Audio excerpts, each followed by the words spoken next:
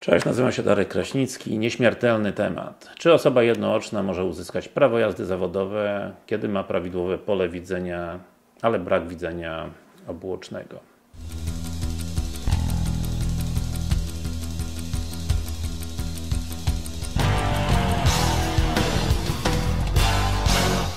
Zapytanie oczywiście od internauty, czy jeżeli ma się takie pole widzenia, to można być kierowcą C plus E. Chodzi o jednoocznych, ZES i tym podobne. I tutaj internauta cytuję z aktu prawnego. W przypadku jednooczności rzeczywistej, praktycznej i czynnościowej można orzec brak przeciwwskazań do pracy pod warunkiem, że pole widzenia oka lepiej widzącego wynosi 80 stopni od skroni, co najmniej 30 od nosa oraz w górę i w dół.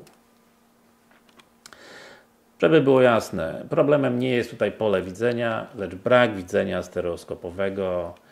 No i to widzenie stereoskopowe, czyli obuoczne na kategorię C, C do E czy D jest bezwzględnie wymagane. I to, że mamy tam zachowane jakoś tam na jednym oku czy drugim pole widzenia, natomiast nie ma tutaj widzenia obuocznego, po prostu wyklucza Cię z prowadzenia pojazdów mechanicznych zawodowych i odradzam jakieś kombinacje załatwiania sobie.